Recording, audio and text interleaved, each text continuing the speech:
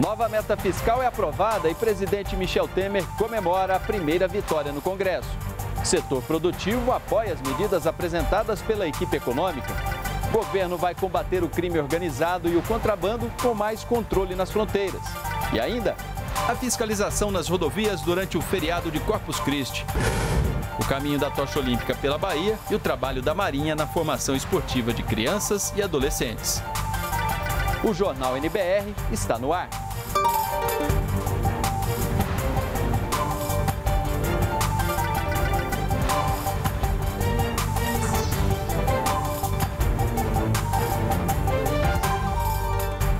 Boa noite. A nova meta fiscal foi aprovada pelo Congresso. Foram mais de 16 horas de debates até a votação. O presidente interino, Michel Temer, disse que foi uma bela vitória. A matéria agora segue para a sanção presidencial. A nova meta fiscal do governo foi aprovada na madrugada desta quarta-feira por votação simbólica, depois de uma sessão de quase 17 horas do Congresso Nacional. Aprovada a matéria, vai à sessão. A nova meta autoriza um déficit de 170 bilhões e 500 milhões de reais para este ano. Isso significa que o governo vai arrecadar menos do que vai gastar em 2016. A meta fiscal prevista originalmente estimava uma economia de 24 bilhões de reais para 2016, mas com argumento de queda na arrecadação e aumento de gastos, o governo da presidente afastada Dilma Rousseff propôs em março uma mudança para um déficit de quase 97 bilhões de reais que não chegou a ser votado pelo Congresso Nacional. Mas a equipe econômica do governo interino de Michel Temer refez os cálculos e excluiu a previsão de arrecadações consideradas incertas, como a recriação da CPMF e a repatriação de recursos do exterior. Se não conseguisse aprovar a nova meta até a próxima semana, o governo teria de cortar bilhões de reais em despesas não obrigatórias, o que afetaria o funcionamento de serviços públicos. O presidente interino Michel Temer foi pessoalmente ao Congresso nesta segunda-feira para entregar a proposta de revisão. Com a aprovação da nova meta na madrugada desta quarta-feira, a mudança segue agora para a sanção presidencial. Durante a sessão do Congresso, onde também foram analisados vetos, o relator do projeto defendeu a aprovação da nova meta. Eu posso garantir a todos os senhores deputados, deputadas, senadores e senadoras que o número que está sendo proposto é um número justo, é um número bom para o país e para que vocês não parem o país e que a gente continue é, buscando o nosso desenvolvimento. O presidente da República interino, Michel Temer, comentou na manhã de hoje o resultado da votação. A vitória da noite, vitória das, das, das quatro e meia, uma bela vitória. E as medidas fiscais e econômicas anunciadas pelo governo foram bem recebidas por entidades do setor produtivo. Veja na reportagem de Ney Pereira. As medidas econômicas anunciadas pelo governo nesta terça-feira para diminuir o endividamento e retomar o crescimento do país foram bem recebidas pelo setor empresarial. Para a Federação das Indústrias do Estado de São Paulo, as medidas são importantes para fortalecer a economia a longo prazo e deve aumentar a confiança dos empresários. Para o presidente da Fiesp, Paulo Scaff, uma das decisões mais importantes é a que limita os gastos públicos. Se essa medida tivesse sido feita há 10 anos, hoje a dívida pública do governo federal seria de 600 bilhões de reais e não 4 trilhões, ou seja, seria sete vezes menor. E com uma dívida sete vezes menor, nós teríamos um superávit nominal ao invés do, do déficit nominal de quase 10% que nós temos. E com isso poderíamos estar vivendo com juros uh, de 1, 2% ao ano em parâmetro internacional, economizando quase 500 bilhões de reais por ano de pagamento de juros. Ou seja, teria, estaríamos num cenário completamente diferente. Outras instituições se manifestaram por meio de nota. O presidente da Federação Brasileira de Bancos, a FEBRABAN, Murilo Portugal, disse que as medidas anunciadas deverão contribuir no médio prazo para recolocar a dívida pública em uma trajetória sustentável. Para a Confederação Nacional da Indústria, o anúncio é significativo por não ter sido incluído no pacote o aumento da carga tributária. Já a força sindical diz que as medidas são positivas porque visam o crescimento, a queda do desemprego e das taxas de juros. Entre as medidas anunciadas pelo governo estão uma proposta de emenda à Constituição para limitar os gastos públicos, o pagamento de dívida de 100 bilhões de reais junto ao Tesouro Nacional pelo BNDES, a extinção do Fundo Soberano, diminuir a participação da Petrobras na exploração do pré-sal, não dar subsídio a novos programas de governo, criar critérios rígidos para a nomeação de dirigentes dos fundos de pensão das empresas estatais, além da reforma da Previdência Social. Este professor de finanças concorda com as mudanças. Segundo ele, a indicação de dirigentes de estatais e fundos de pensão deve seguir critérios técnicos. Ele ressalta ainda que a reforma da Previdência é outra medida importante. Quando nós temos regras hoje em dia que foram aplicadas no passado, dadas aquelas circunstâncias, a mudança hoje exige que seja feito um ajuste, então, porque senão a gente não vai conseguir sequer fazer os pagamentos dos benefícios da Previdência no futuro até próximo. Tem que fazer uma mudança. Quais são essas mudanças? É isso que precisa ser discutido, mas que não pode ficar como está, não pode, sob risco de não conseguirmos efetuar os pagamentos dos benefícios aquele que precisarão no futuro. O ministro da Fazenda, Henrique Meirelles, indicou agora há pouco os nomes para assumir a presidência dos bancos públicos. Para o Banco do Brasil foi indicado Paulo Rogério Cafarelli. Gilberto Ock foi indicado para a presidência da Caixa Econômica Federal. O contrabando de mercadorias, o tráfico de drogas e armas realizados nas fronteiras do país vão ser combatidos de forma permanente pelo governo. As ações foram divulgadas agora há pouco em uma entrevista coletiva no Palácio do Planalto, onde está ao vivo o repórter Paulo La Sálvia, que traz para a gente as informações. Boa noite, Paulo. Olá, Zé Luiz, boa noite, boa noite a todos que nos assistem na TV NBR. Esta reunião foi coordenada aqui no Palácio do Planalto pelo presidente interino Michel Temer, contou com a participação de cinco ministros, além de representantes das Forças Armadas, secretarias e agências. A ideia é justamente essa: coordenar ações de diferentes órgãos que lidam com o tema das fronteiras para combater crimes, como, por exemplo, o tráfico de drogas, armas e mercadorias. O ministro das Relações Exteriores divulgou, por exemplo, que o Brasil perde por ano cerca de 20 bilhões de reais com mercadorias que entram no país contrabandeadas pela fronteira brasileira. José Serra também adiantou que o Brasil vai iniciar uma cooperação nas fronteiras com outros países da América do Sul. É ampliar o trabalho com vistas à cooperação bilateral entre países. Agora que estive na Argentina, conversamos eh, com o presidente da República, conversamos com o ministro de Relações Exteriores, eh, e eu disse ao presidente Macri, transmitiu uma proposta do presidente Temer, que fizesse uma, um, fizéssemos um encontro regional na América do Sul, não toda a América do Sul, mas alguns países, com vistas a uma ação coordenada, né, é, que vai envolver no futuro também uma ação diplomática que tem existido, mas muito mais intensa. É, inclusive, vamos programar este encontro é, por iniciativa do Brasil e da Argentina. Essa cooperação é realmente fundamental, uma vez que não é o crime não se dá na fronteira, na linha da fronteira, né? Ele é interior aos territórios, seja na origem, seja no seu desdobramento. José Serra também defendeu uma união nacional para combater o crime organizado. O crime é organizado. Nós também temos que nos organizar. O, o governo e o país para enfrentar o crime organizado. Já o ministro da Defesa, Raul Jungmann, afirmou que o Brasil vai continuar investindo no Sistema Integrado de Monitoramento de Fronteiras, o CISFRON, que desde 2011 está sendo implementado para combater os crimes nas fronteiras, principalmente terrestre brasileira, por meio do uso de tecnologias de ponta. Raul Jungmann também adiantou a mais nova fase da Operação Ágata, que coordena ações das Forças Armadas para combater ilícitos fronteiriços Nós vamos iniciar nos próximos dias, evidentemente que a fixação de data não é possível ser divulgada para manter o efeito surpresa, uma operação que irá envolver em torno de 15 mil homens na fronteira, algo como 27 aeronaves, 80, perdão, 8 navios e 80 lanchas, a um custo de 9 milhões de reais.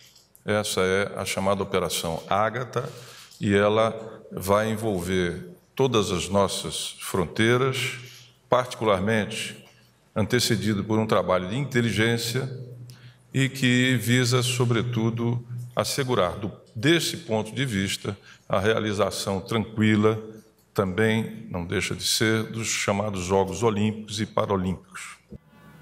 Também foi criado o Comitê Executivo de Coordenação e Controle das Fronteiras, justamente para coordenar as ações desses diferentes órgãos no combate ao crime organizado nas fronteiras brasileiras e anunciado o desenvolvimento de um banco de dados sobre crimes nas fronteiras, que vai permitir uma série de ações, como, por exemplo, o acompanhamento dessas iniciativas, a evolução dos resultados e também servir como fonte de informação para a sociedade. É isso, José. Voltamos com você no estúdio.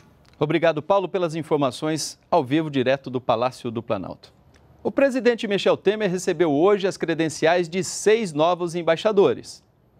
Pela manhã, o presidente interino Michel Temer participou da cerimônia de entrega de credenciais de novos embaixadores, ao lado do ministro das Relações Exteriores José Serra, do secretário-geral do Itamaraty Marcos Galvão e do assessor internacional da Presidência da República, embaixador Fred Arruda. Esta é a primeira vez depois que assumiu o governo que Michel Temer recebe cartas credenciais de representantes de outros países. A carta é uma mensagem formal enviada de um chefe de Estado Estado para outro chefe de Estado e serve para permitir que o embaixador assuma oficialmente suas funções no país.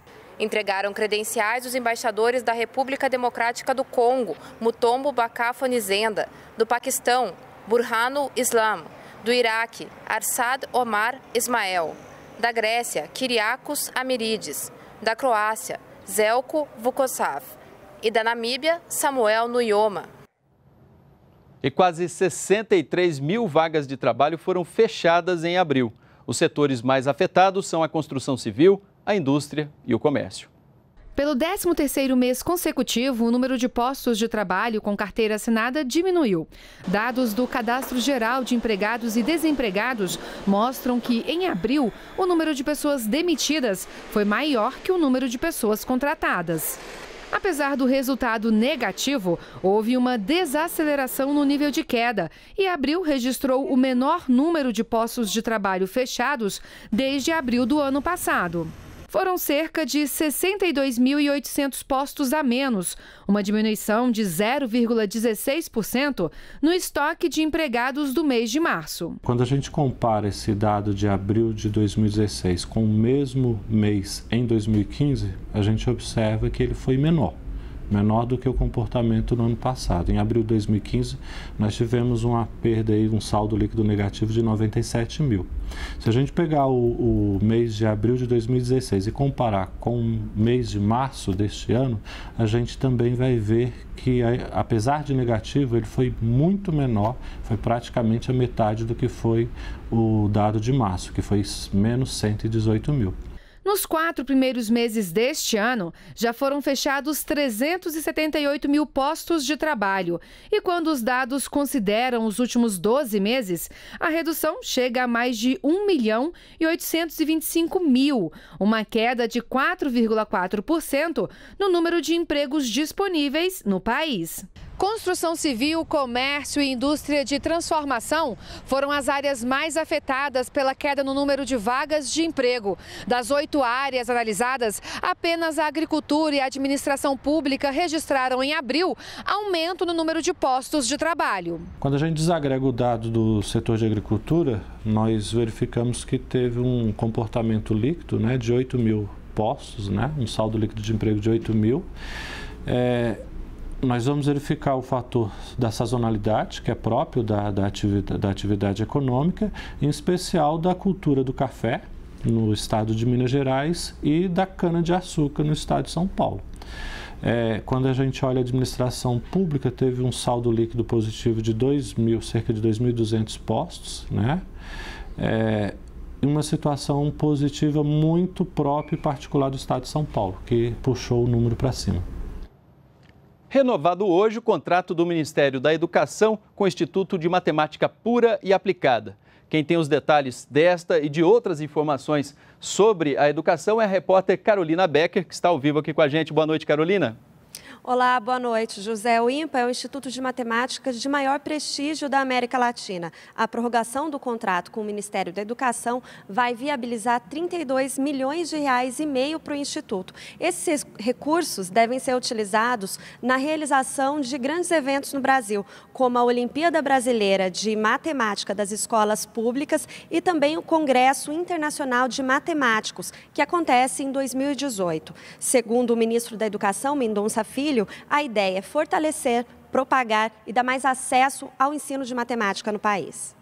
É uma maneira de você é, propagar e, e facilitar o acesso às pessoas, incorporar alunos que muitas vezes não estão estimulados é, a participar de, de Olimpíadas, a que eles possam ter a, as Olimpíadas como um, um caminho é, na competição para aprender mais matemática, cultivar o aprendizado da matemática e divulgar a matemática como uma ciência extremamente importante para a sociedade, extremamente relevante para o aprendizado como um todo. É, o ministro ainda anunciou mudanças no orçamento desse ano da pasta. Segundo o ministro, mesmo com aumento do saldo negativo nas contas públicas, aprovado nessa madrugada pelo Congresso, a, a educação vai ter um reforço no caixa. O corte no orçamento, que seria de 6 bilhões de reais, será de 2 bilhões de reais, o que vai permitir a manutenção de vários programas da área, é o que explica o ministro. Isso facilitará a garantia que já tinha sido assegurada é, da execução de programas estratégicos como Pronatec, ProUni, é, FIES, é, entre outros, e fará com que a gente possa cumprir todas as nossas obrigações com adequação orçamentária do Ministério da Educação para o exercício de 2016. É, e também ainda nessa coletiva foi anunciada a abertura do edital do SISU, o Sistema de Seleção Unificada. A partir de segunda-feira começam as inscrições. São mais de 56 mil vagas em 65 instituições de ensino superior. José. Obrigado, Carolina, pela sua participação ao vivo aqui no Jornal NBR. A Polícia Rodoviária Federal começou a Operação Corpus Christi, que vai intensificar a fiscalização nas rodovias federais durante o feriadão. A repórter Daniela Almeida tem os detalhes. A Operação Corpus Christi vai terminar à meia-noite do próximo domingo. Durante todo o feriado, a Polícia Rodoviária Federal vai trabalhar com equipamentos que medem a concentração de álcool no sangue dos motoristas. Caso a quantidade medida seja maior do que a permitida pela lei, o infrator será multado em R$ 1.915,40 e poderá perder o direito de dirigir e até ser preso por três anos. A Polícia Rodoviária Federal orienta também que os motoristas respeitem a velocidade das vias, ultrapassem apenas em trechos permitidos e pelo lado esquerdo. Para quem for dirigir, a determinação é clara: é proibido beber e usar drogas e outras substâncias entorpecentes. Durante o dia, os motoristas também devem ligar o farol baixo dos veículos enquanto trafegam pelas rodovias. É recomendável que o motorista faça a manutenção do veículo antes de pegar a estrada. A gente fala sempre dos pneus. Essa época aqui, principalmente aqui sul e sudeste, com bastante chuva, a verificar os pneus, o estado dos pneus, a a água, o arrefecimento, o líquido de arrefecimento do veículo, tudo isso fazer uma checagem antes, o lavador do para-brisa, ver se está abastecido com água. São medidas simples que a gente faz antes de sair de viagem que podem aí é, economizar bastante tempo e acabar com a dor de cabeça que pode é, vir, a, vir a ter aí no meio da viagem. Aproveitar as estradas movimentadas durante o feriado de Corpus Christi para combater o tráfico de pessoas. A iniciativa faz parte da campanha internacional Coração Azul. É véspera de feriado e a rodovia está cheia. A ação começa com abordagens de rotina. Os agentes da Polícia Rodoviária Federal conferem os documentos e as condições do veículo. Depois disso, os passageiros são direcionados para uma atividade diferente.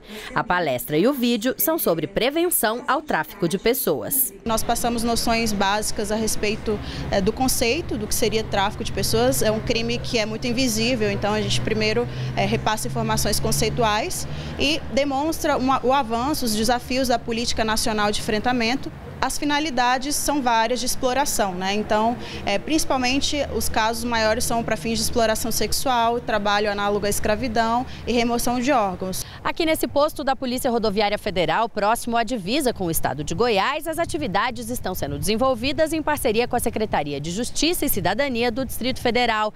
A ação faz parte da campanha Coração Azul de enfrentamento ao tráfico de pessoas, realizada pelas Nações Unidas em todo o mundo e aderida pelo Brasil traficar pessoas requer um meio de transporte para que o crime se consuma. E por via rodoviária, normalmente nas rodovias federais, onde a gente tem o transporte regular de passageiros por ônibus e tudo mais, mas também tem o, o, as viagens que as pessoas fazem aos finais de semana, principalmente aos finais de semana prolongados e, e vésperas de feriado.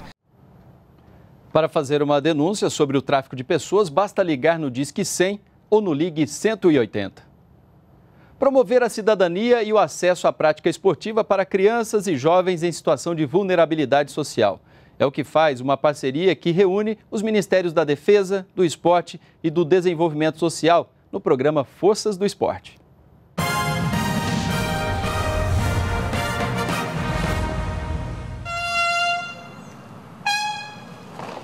Disciplina militar já não é nenhum bicho de sete cabeças para essas crianças e adolescentes. Acima de tudo, disciplina, postura. Eles fazem parte do programa Forças no Esporte, que é desenvolvido no Centro de Educação Física da Marinha, no Rio de Janeiro, o Cefam.